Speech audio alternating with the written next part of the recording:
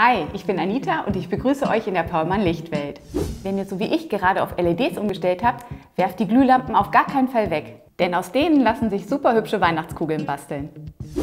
Dafür braucht ihr alte Glühlampen, Glasmalfarbstifte, einen dünnen Silberdraht, ein paar Dekoperlen, ein Karton, eine Bohrmaschine und eine Schere. Im ersten Schritt müsst ihr an der Fassung ein Loch bohren. Ich habe das hier schon mal vorbereitet. Geht dabei aber sehr vorsichtig vor. Das Wichtigste ist die richtige Auswahl der Farben. Ich habe mich für Gold- und Silbertöne entschieden, damit alles einen einheitlichen Look hat. Jetzt könnt ihr die Lampen in schönen Mustern bemalen. Eurer Kreativität sind keine Grenzen gesetzt. Zum Trocknen stecke ich die Lampen in einen Karton. Sind die Lampen getrocknet, könnt ihr einen dünnen Silberdraht durch das Loch in der Fassung fädeln. Der dient uns als Aufhängung.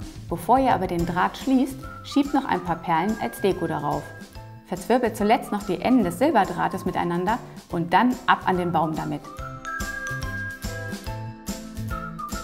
Na, das sieht doch schon festlich aus. Und, habt ihr auch noch Ideen? Ich freue mich über einen Kommentar von euch. Viel Spaß beim Nachbasteln. Bis zum nächsten Mal. Eure Anita.